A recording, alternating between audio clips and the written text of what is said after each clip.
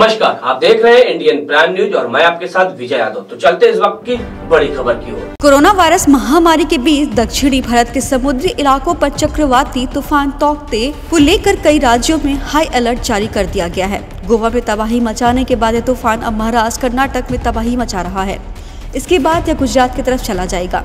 मौसम विभाग ने जानकारी देते हुए कहा कि आज शाम तक यह चक्रवाती तूफ़ान गुजरात के तट से टकराएगा और 18 मई की सुबह पोरबंदर और भावनगर से ज़िले से होकर गुजरेगा। जी हाँ आपको बता दें वही दूसरी तरफ़ महाराष्ट्र के तटीय इलाकों से अब तक 12,000 से ज़्यादा लोगों को दूसरी जगह पर भेज दिया गया है। वहीं तूफ़ान के चलते मुख्यमंत्री उद्धव ठाकरे लगातार स्थिति पर नज़र बनाए हुए हैं। मौसम विभाग की तरफ़ से मुंबई ठाणे और पालघर जैसे जिलों में ऑरेंज अलर्ट जारी कर दिया गया है। तो दूसरी तरफ़ रायगढ़ ज़िले में रेड अलर्ट घोषित कर दिया गया है। इस तूफ़ान के चलते उत्तर प्रदेश के कई राज्य भी प्रभावित हो सकते हैं। दिल्ली में भी बादल छाए हुए हैं। तो वहीं राजस्थान के कोटा में मौसम का मिजाज बदलने जा रहा है। इसके अलावा हरियाणा में भी कई इलाकों में धूप गायब है। मौसम विभाग ने कहा कि पूर्व मध्य अरब सागर के ऊपर बना अत्यधिक भीषण चक्रवाती तूफ़ान तोकते पिछले छह घंटों के दौरान लगभग 20 किलोमीटर प्रति घंटे की गति से उत्तर उत्तर पश्चिम की ओर बढ़ रहा है।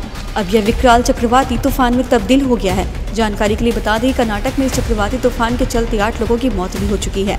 केरल, गोवा और कर्नाटक के तटीय इलाकों में रविवार को तबाही मचाने के बाद अब यह तूफ़ान गुजरात की ओर बढ़ गया है।